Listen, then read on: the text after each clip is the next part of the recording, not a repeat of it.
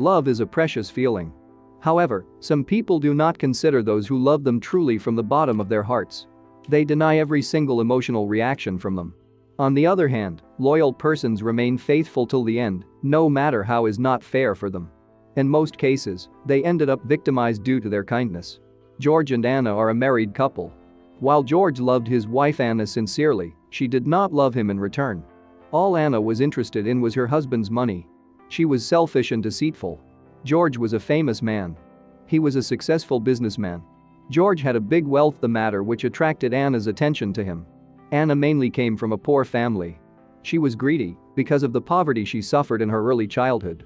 She became such a greedy object, she was ready to do anything which would enable her to get rid of her miserable life. Anna was George's secretary.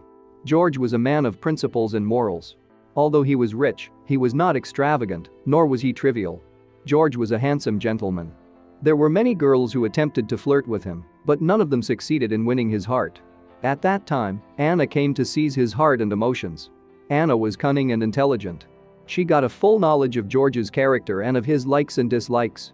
Anna was disguised under a completely different character than her true one. Anna was not easy.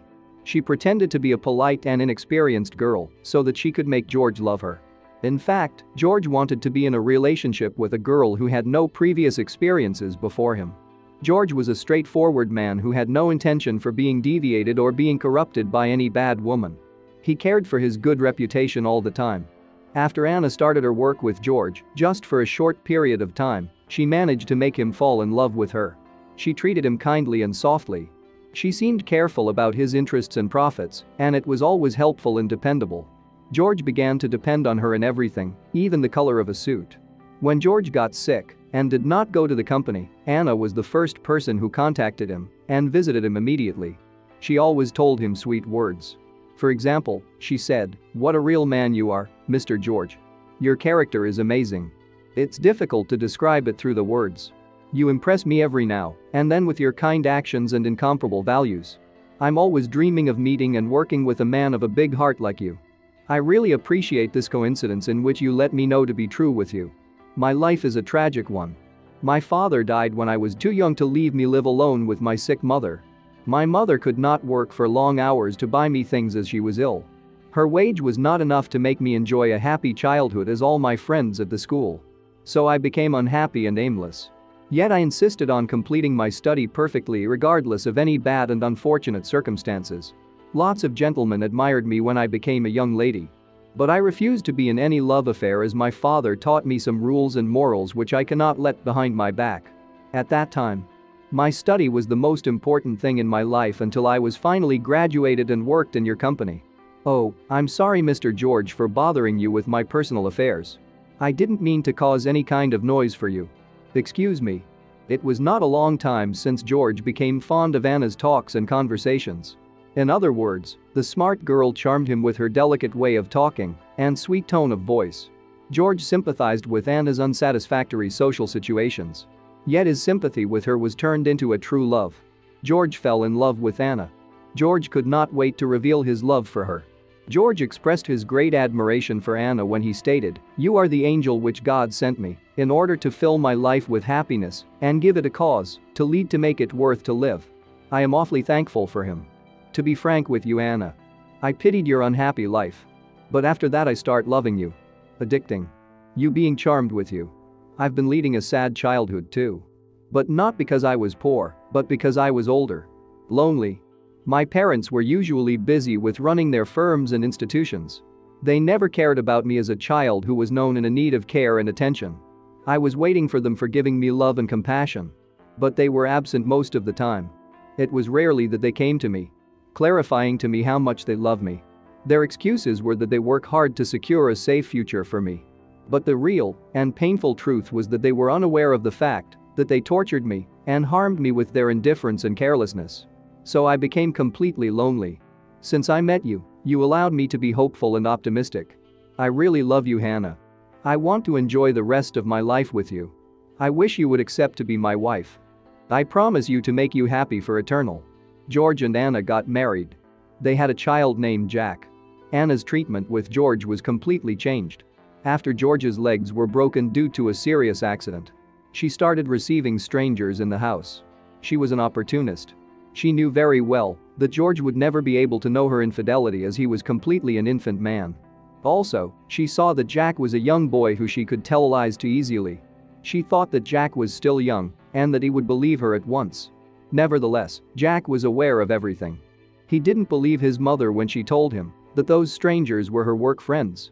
Though Jack was only 13, he realized his mother's permanent cheating for his father. Jack loved his father George very much. He preferred not to tell him anything about Anna's unfaithfulness in order to not hurt him.